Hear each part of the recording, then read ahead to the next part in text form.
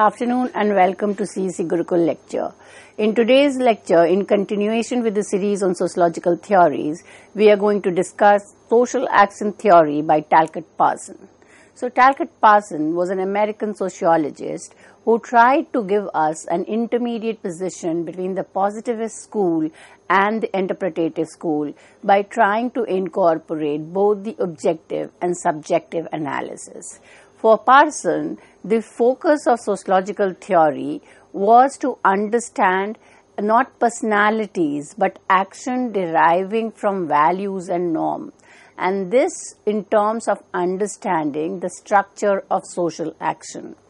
In his work, he was trying to derive from the theory of Max Weber, Wilfred Pareto, and Emile Durkheim a single theory of social action that considered action to be voluntary, institutional, and symbolic. So, therefore, his theory is kind of considered as voluntaristic action theory.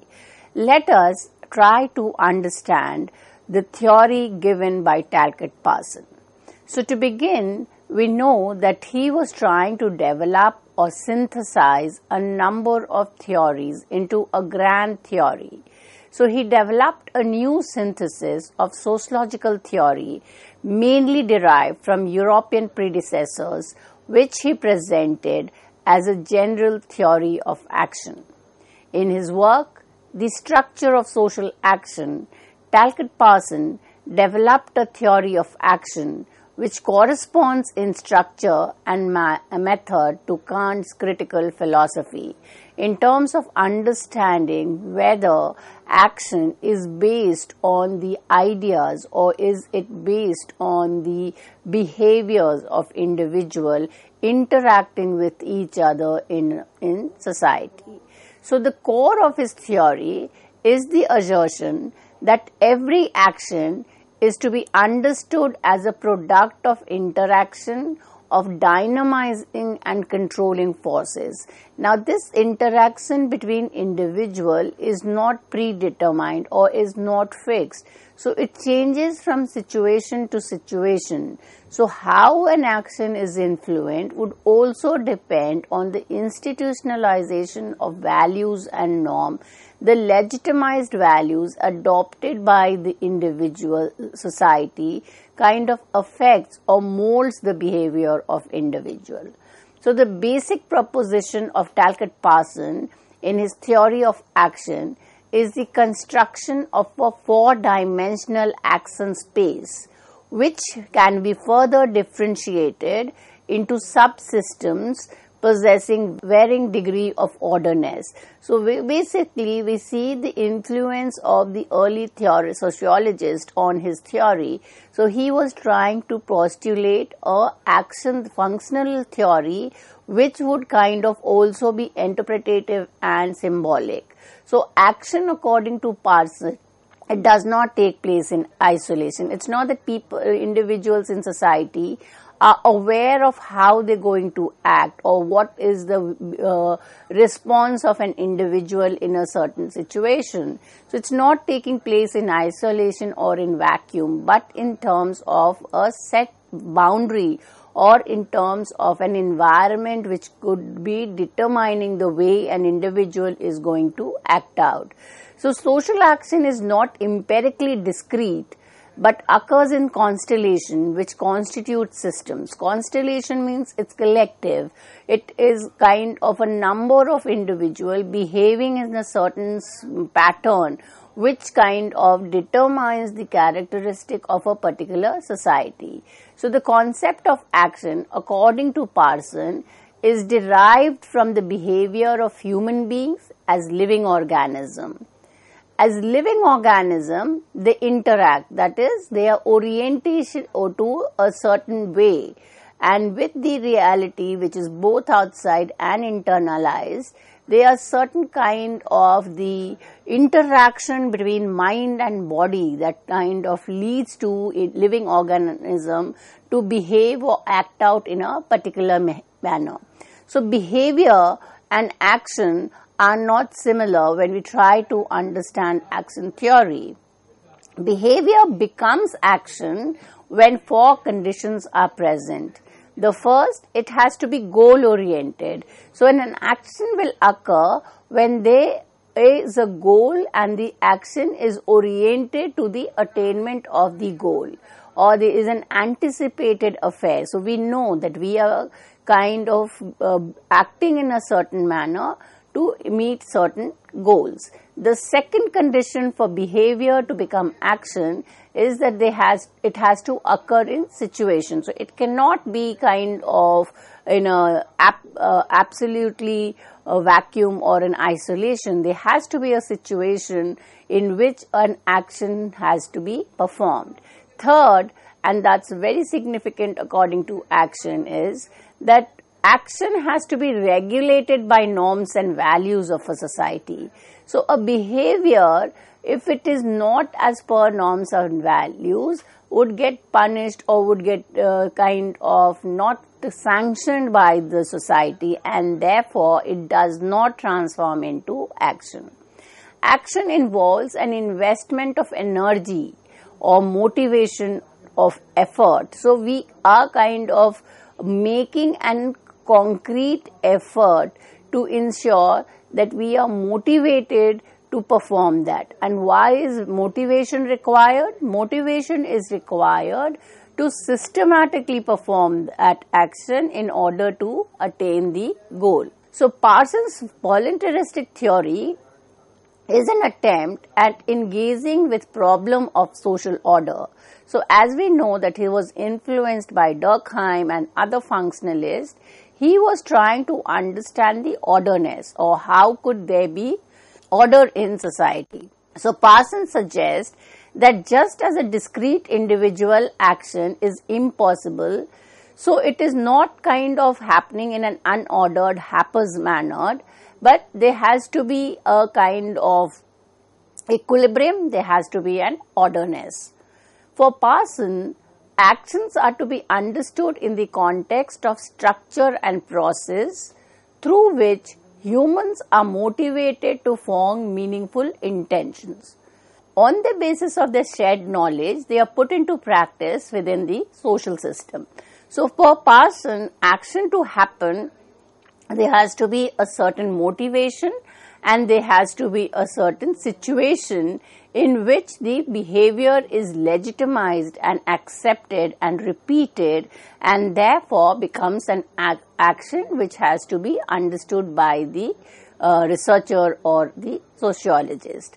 So, to understand the voluntarist theory of action, the basic unit of study according to Talcott Parson is the unit act the it kind of helps us to understand that the basic unit act which is a kind of a singular of action involves three basic elements actors are individual persons so it's not that uh, uh, it is kind of outside the society or in terms of any kind of uh, uh, place where there is an absence of individual who are interacting actors are goal seeking individuals. And the most important because it is voluntaristic, it, there is a kind of uh, alternative to select or choose between multiple values and norms. There is a choice available for the actor in order to achieve their goal. The unit act does not exist in isolation but in the process of interaction of individuals according to norms, values and motivation.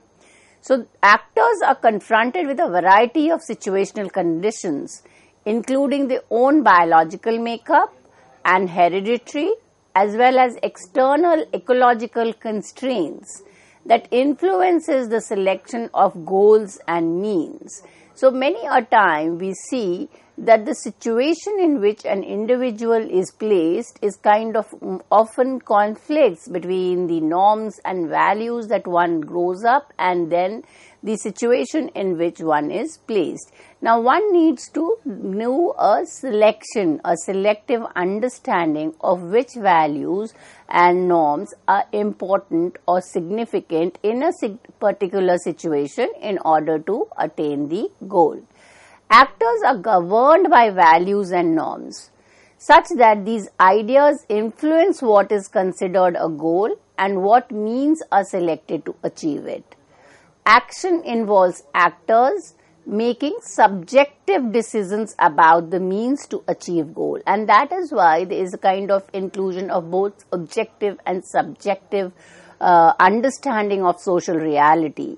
So there is an objective reality which is the values and norms legitimate by the society yet it is up to the actors to select from those uh, list of values or norm in relation to the specific goal that the individual wants to achieve. So when we discuss the meaning of social action, Parson described various types of social action. Now this the types of social action for Parson is basically based on the types of motivation. So your action will depend on the motivation which is there behind the particular act. So he takes motivation or orientation as the basis for distinction among the types of action. According to Parson, there are three forms of motivation or orientation. Orientation in the sense the push or the factor that makes the individual do the particular act. So the first type of social action in terms of motivation is the cognitive orientation. Cognitive orientation uh, is kind of any uh, nature of orientation of social action determining the type of action. And this type of action changes with the orientation. So if it is dominated by rational or cognitive, that is the uh, reasoning, the mindfulness of the orientation is dominant and it kind of uh, choice is made by selecting the rational consideration exclusively then the social action is cognitively oriented.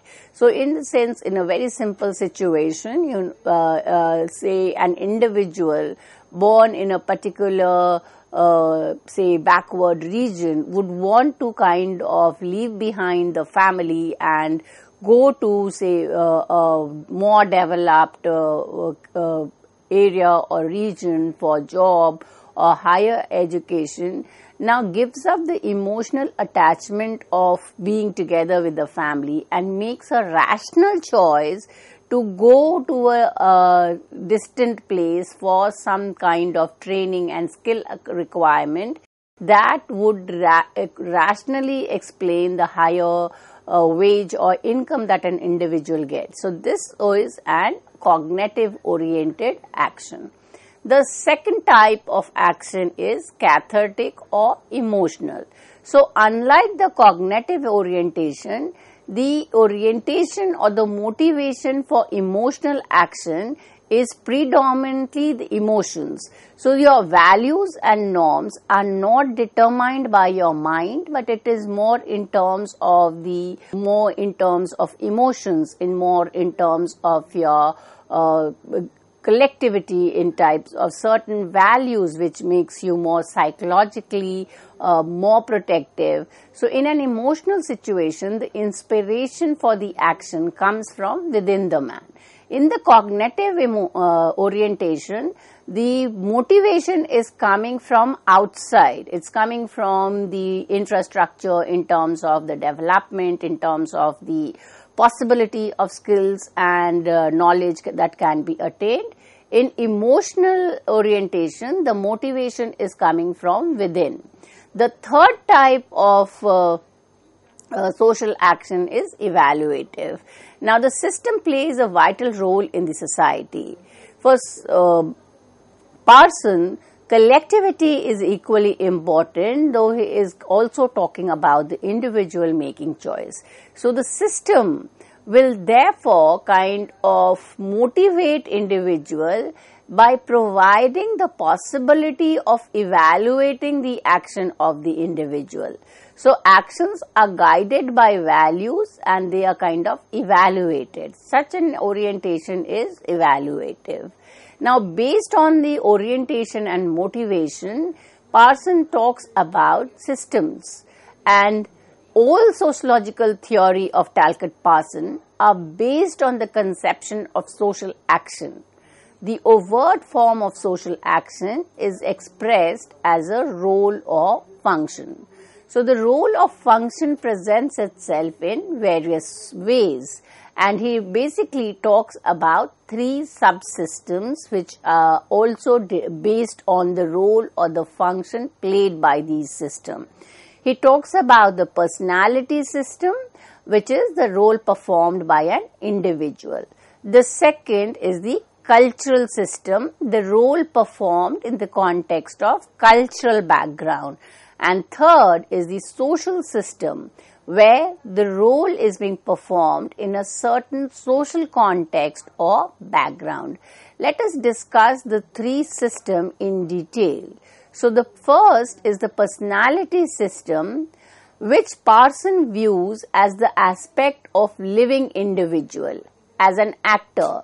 So, every individual in the society is depicted as an action as an actor who is going to perform certain action. And this individual's behavior has to be understood in terms of the cultural and social content of the learned patterning that makes up his behavioral system. So, the personality of behavior an individual depends on multiple factors. And the most important is the learning of values and norms by the individual in the in the society in which he lives or they interact. So the main function of the personality system involves learning developing and maintaining through the life cycle an adequate level of motivation so that individual will participate in socially valued and controlled activities. So in order for Parson to ensure that the social order or the system is in equilibrium, he lays down emphasis on the learning and socializations of values and norm. Because if individuals don't learn and go against the value system, then it is regarded as deviance or deviating from the values. The personality system is concerned with the social action of individual. The social action of individual can be looked up from two points of view.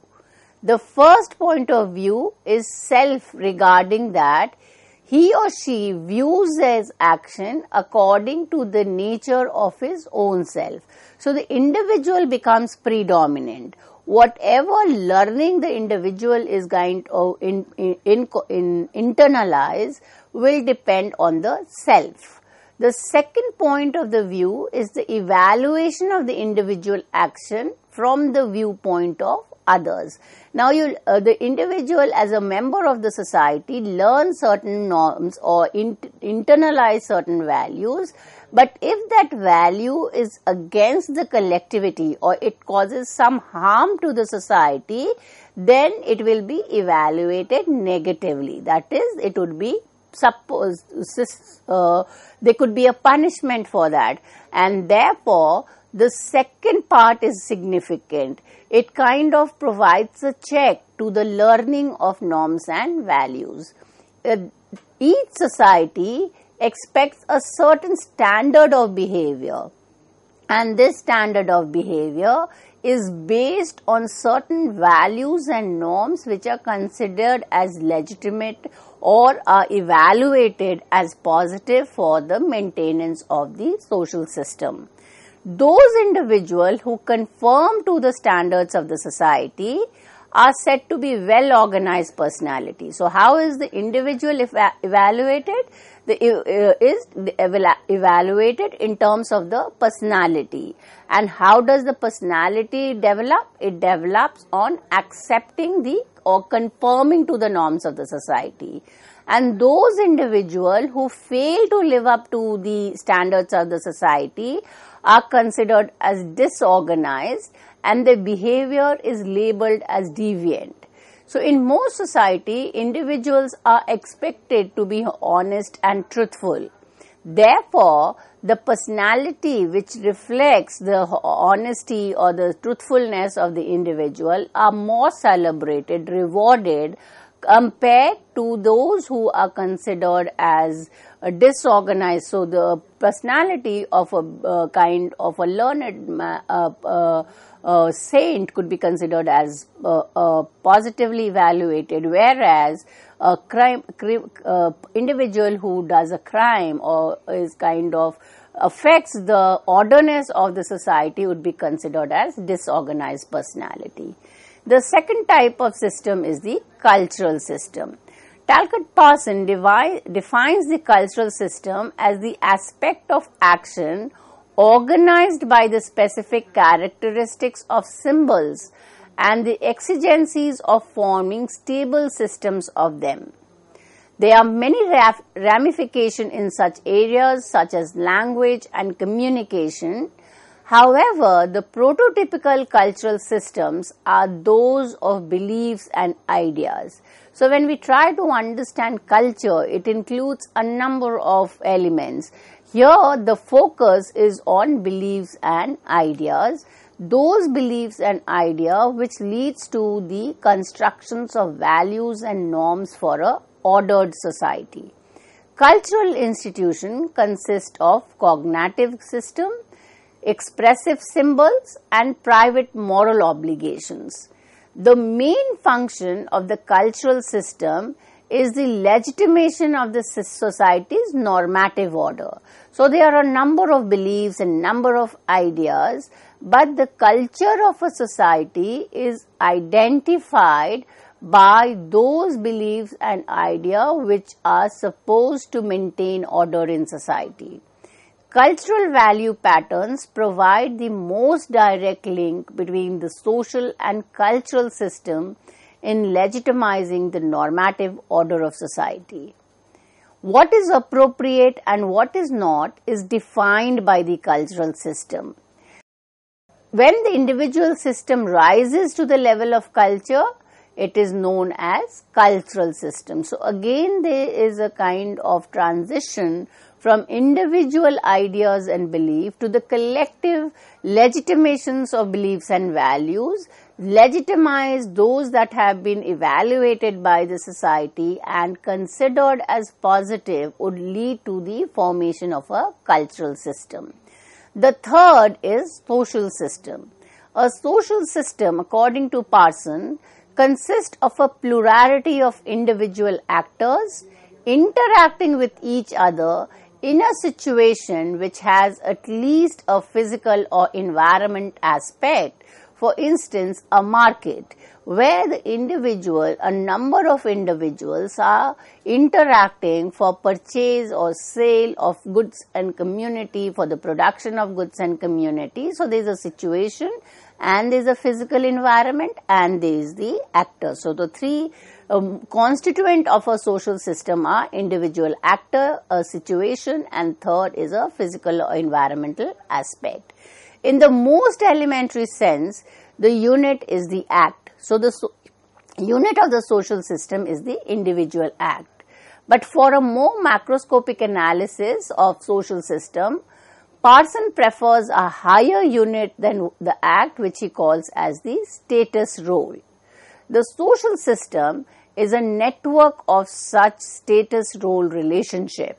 So society is made up of individual.